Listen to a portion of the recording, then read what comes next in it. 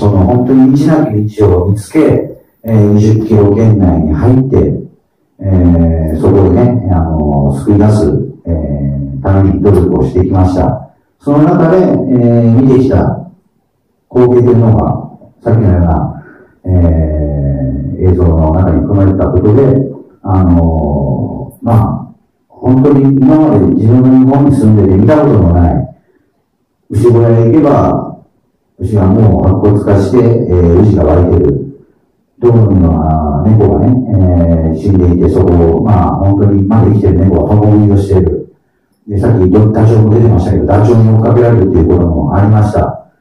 えー、本当に1年目というのはもう、これからこの街はまあ、どうなっていくんだろうというのが、本当に、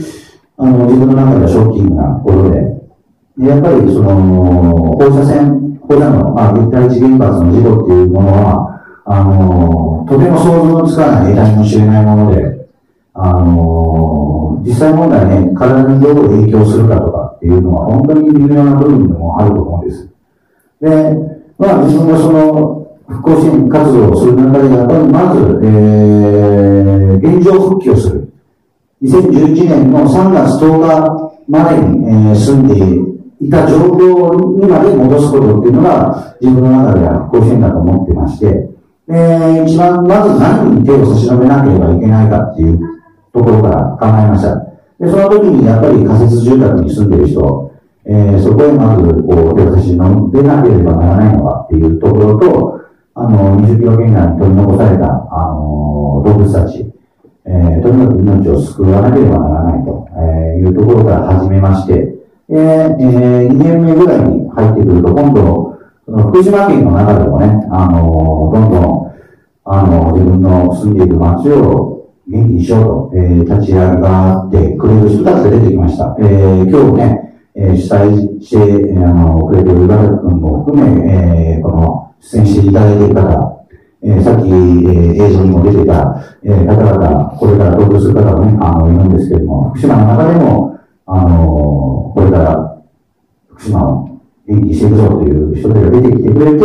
えー、我々復興支援団体もその人たちと組んで復興支援活動を、えー、していくようになりました。それで、えー、3年目になって、今度は風化されていく中で、えー、どうやっていこうと。で、なおかつ、あの、元気になってきた人っていう部分のね、えー、人たちと手を組むこと。それから、その人たちと今度は、あの、県外からね、福島、本当にまあ、大変なところもありますけども、えー、食べ物が美味しかったりとか、あのー、綺麗な景色があったりとかって、本当に僕は、あのー、素晴らしい、えー、年だと思っています。で、やっぱりとにかく、まあ、現状を知ってもらうことと福島の素晴らしさを知ってもらうために、あの、県内からまず人を呼んでもらわなきゃダメだなっていうことを、今、あの、手ざがった人たちと一生懸命やってます。それとですね、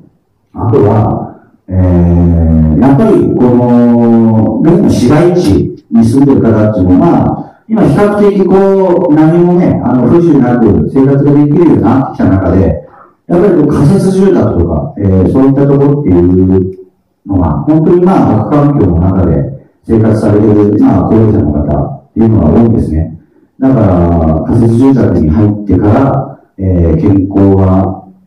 健康状態がね、悪くなった。例えば、あの、血圧が上がっちゃったとか、それから、うつ病になっちゃった。それから、アルコール依存症になっなってしまった。それで、まあ、DV を上げるようになった。で、中でもやっぱり一番最悪なのは、えー、自殺をしてしまうと。とにかくやっぱり命をこれ以上失わせるわけにはいかないと。自分たちはやっぱりそこをまず引っ張り上げていかなきゃいけないのかなというふうに思ってますので、えー、風化されていく中でもね、えー、福島の中で少しでも、あの、まず元気になった人たちと手を組み、これから、県外の人たち、もう一度ね、えー、今の現状を知ってもらって、えー、まだまだ先の長い、この深い問題を、えー、みんなでね、えー、解決していこうかなと思ってます。えー、いつもこう、話をさせてもらうときに、えー、自分の、まあ、体が日本とするならば、えー、福島、まあ、例えば体の一部が大怪我をしている。その大怪我している状況で自分が楽しめるのかどうかっていうことだと思うんですが、自分のね、やっぱりその体がもう本当に大怪我しているのに何やっても、例えば音楽やるにしても、俺は楽しくないと思うんですよね。だからまずやっぱり、その大きな怪我を治すこと。それはやっぱり今、もう一度ですね、皆さん、一人一人がやっぱ繋がって、福島を復興させていくこと。それで、まあ、普段、えー、今、この、今日は福島っていう、福島市で、えー、ライブさせてもらってますけれども、ここにいるとね、意外ともう普通通りに、こう、まあ、戦場は少々高いところもあるんですけども、意外とスムーズに生活を行われてます。ただ、浜通りの、今、20キロ圏内でもですね、えー、富岡町、南の富岡町の一部のところまで入れるようになりましたし、えー、南相馬は何の手前の小高まで、えー、入れるようになりました。そこへ行くと、また震災の起きた時もほとんどそのままの状況が残っています。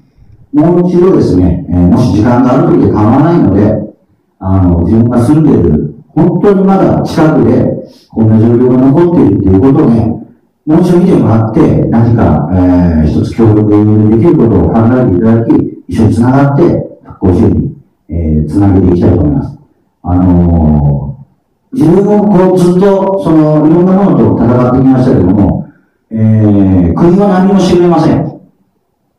どんだけ訴えられても、何もしてくれません。だからこそ、やっぱり僕たちが、えー、一人一人が繋がって、やっていかなければならないことっていうのは本当にいっぱいあります。